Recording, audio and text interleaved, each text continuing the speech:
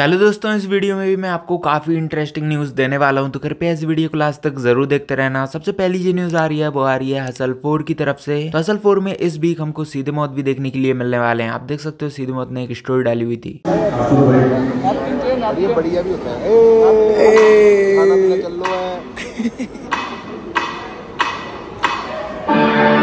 है hustle four के side से ही रफ्तार और इक्का की एक वीडियो आई हुई है जिसमें कि रिपोर्टर उनसे साथ में कोलैब के बारे में पूछते हैं। तो रफ्तार क्या बोलते हैं? आप खुद देख सकते हैं क्लिप। भाई एक बना दो साथ में कोई बढ़िया वाला।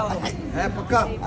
चल तेरे मुँह में संजय रफ्तार ने कल जो अपने इंस्टाग्राम पे एक पोस्ट डाली हुई थी तो उसी को शेयर करते हुए जो किंग है, उन्होंने लिखा हुआ था Raftaar thank you for believing in me Ustad hashtag circle complete और अब हम बात करने वाले हैं के सिंह के बारे में। इन्होंने रफ्तार के लिए शो भी ओपन किया हुआ है, साथ ही उन्होंने ओजी बोहिमिया के साथ कोलैब भी किया हुआ है। इनका हाल ही में एक गाना आया हुआ है, रोला।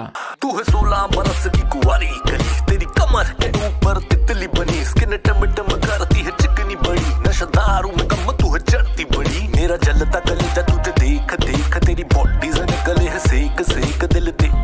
मुझे तो पर्सनली काफ़ी सही ट्रैक लगा है। इस फुल ट्रैक की लिंक आपको डिस्क्रिप्शन में मिल जाएगी एक बार जाके ज़रूर सुनना। अगली जो न्यूज़ है वो आ रही है योयो की तरफ़ से। तो अभी बोहिमिया का एक इंटरव्यू आया हुआ है जिसमें कि उन्होंने योयो से रिलेटेड कुछ ऐसा कहा था।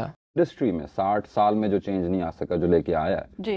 you guys are not giving that respect. Instead you're creating your artist.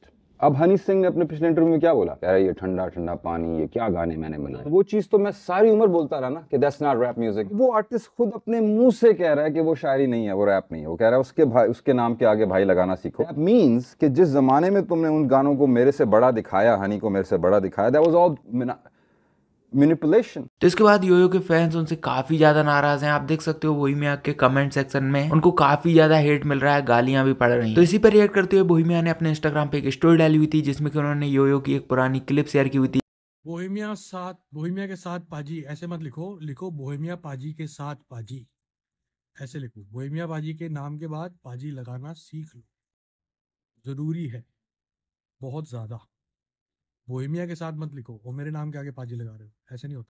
तो सब पर आपकी क्या राय है? नीचे कमेंट में ज़रूर बताना। बाकी इस वीडियो में इतना ही, और रोला ट्रैक सुनने ना भूलना। बाकी अगर आपकी वीडियो पसंद आए तो वीडियो को लाइक कर देना। अगर आप चैनल पे नए हो, चैनल को सब्सक्राइब करके बेल आइकन प्रेस कर देना। अगली वीडियो में फिर मिलते हैं, तब तक के लिए बाय बाय